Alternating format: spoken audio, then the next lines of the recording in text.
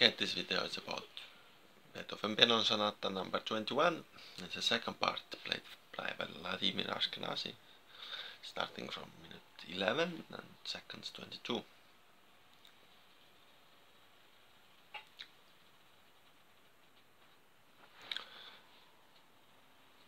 It starts mm, very quiet, eh? and the sound quality might not be good.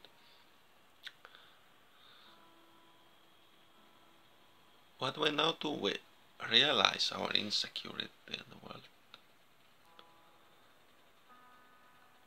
Currently, I have no money whatsoever. I'm just out of money. Yet, I have all the things you know I could wish for. I have home, I have safety, I have family. Yet I'm sad because I have no real money. I have like just thirty dollars on my poker account and we need to start from scratch, start from zero, build ourselves up again without having the time to do this because we have a little child as well. So and you could do this thing to yourself. You could go down there into the sadness, fighting with the poker enemies, realizing, releasing this effort towards the monetary world. Or you could start to share your sadness. I was given the hint that it would be very sad and going deep into the low level sadness if I would continue with the poker game. Yet something is in there, something you know beautiful programming something is in there that's balancing the emotional realms.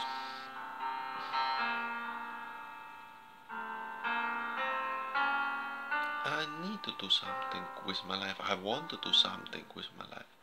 Yes, I'm a healer, but there's no clients. Yes, I'm a clairvoyant. You know, but it doesn't really help. I'm not just doing anything. So, the purpose needs to be found from within. Can't just dedicate myself fully to healing job. There's a new time. We have done a lot of invisible healing work with few years. I'm doing the healing work anyway. So it's very simple to disregard it as a professional option.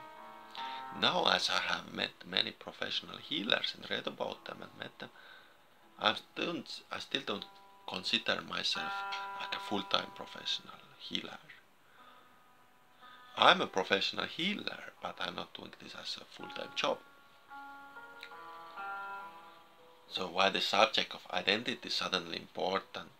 Because how I feel insecure. I'm having too much trouble in my life.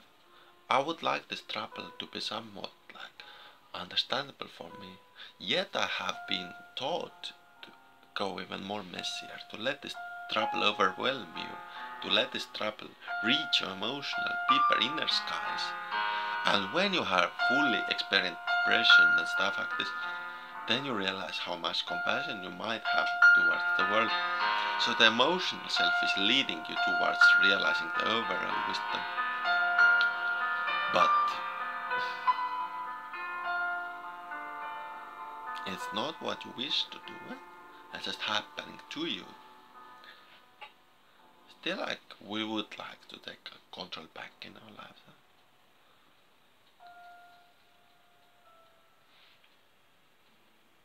It's just hurting within. Eh? As uh, it's going deep towards the invisible realms, realms that are not being seen. And the more I have expressed my emotions publicly, the easier it has been for others to approach me, especially through talks and stuff like this. There's this advertisement. Mm, I will make a point.